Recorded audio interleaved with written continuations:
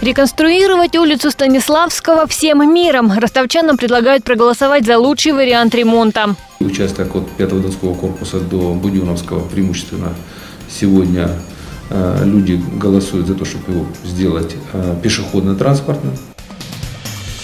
Банкротство управляющих компаний и огромные долги за энергоресурсы. Кто виноват и что делать? В проблемной системе ЖКХ Таганрога пытался разобраться губернатор. Я не помню ни одного доклада, чтобы мне сказали, что население не платит. Население платит. И к населению претензий никаких нет. Они сделали региональное образование одним из лучших в России в преддверии нового учебного года. Награды выдающимся педагогам.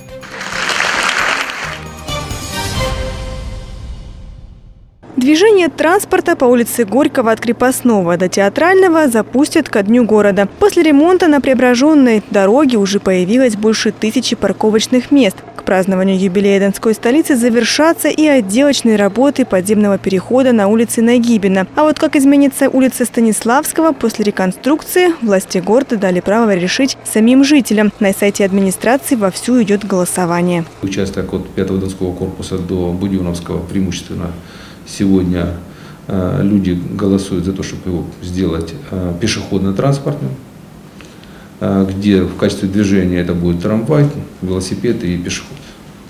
Участок от значит, Семашка до Ворошиловского тоже аналогичная ситуация.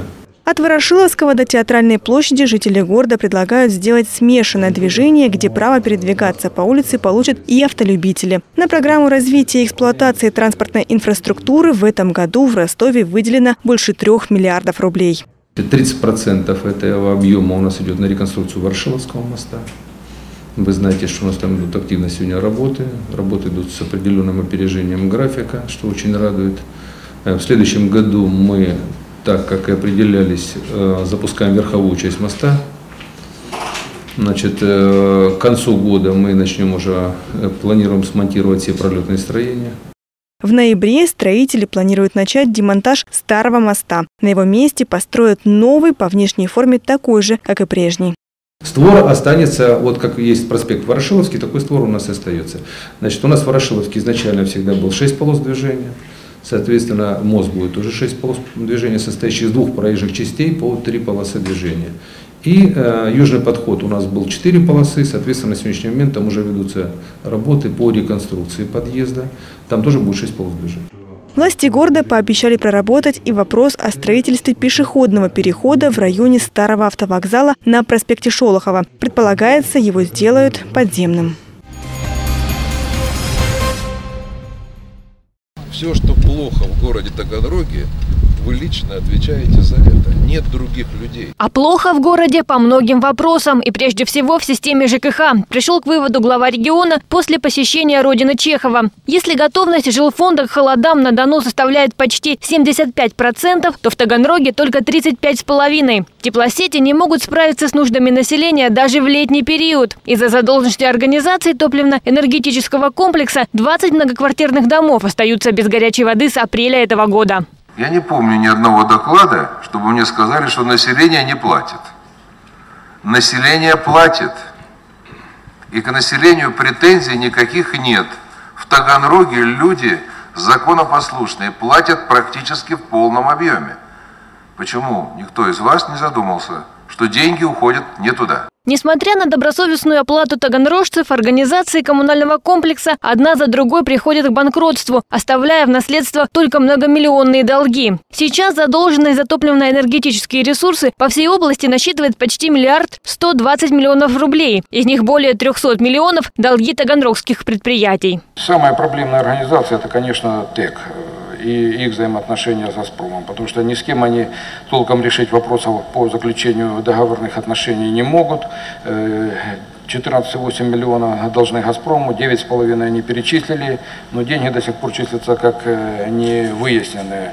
И вот 5,5 миллионов, получается 5,3 миллиона, которых у ТЭКа реально нет. Пока муниципальные власти и обанкротившийся бизнес выясняют отношения, жители Таганрога остаются без горячей воды. Глава Донского правительства поставил задачу – решить проблему к 1 сентября. Однако нет гарантий, что инцидент не повторится. В целом же подготовка к зиме в Ростовской области идет по плану, отметил губернатор.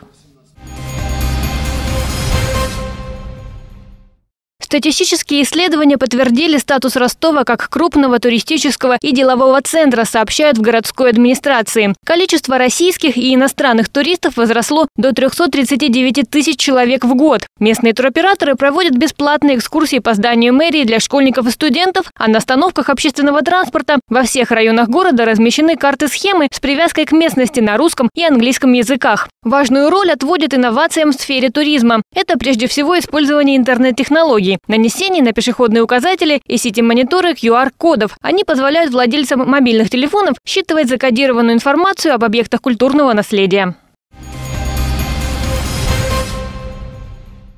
Очереди в детские сады на Дону станут короче. Для этого из областного и городского бюджета выделили немалые деньги. Вовсю идет строительство новых объектов и реконструкция старых. Уже в этом году в области возводят 64 дошкольных учреждения. Еще 40 появятся в следующем. Только в Ростове за два года планируют создать около 6 тысяч мест в детских садах. О системе образования говорят в преддверии начала учебного года. Областная конференция собрала педагогов в Донском техническом университете.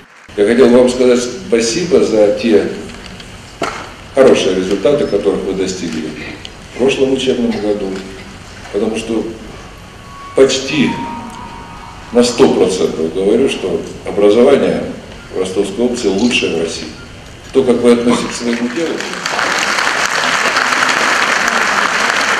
то, как вы относитесь к своему делу, это пример отношения для любого человека, где бы он ни трудился. Тем, кто смог сделать региональное образование лучшим, награды. За доблестный труд на благо Донского края медалей удостоились пять человек – руководители учебных заведений из разных городов области.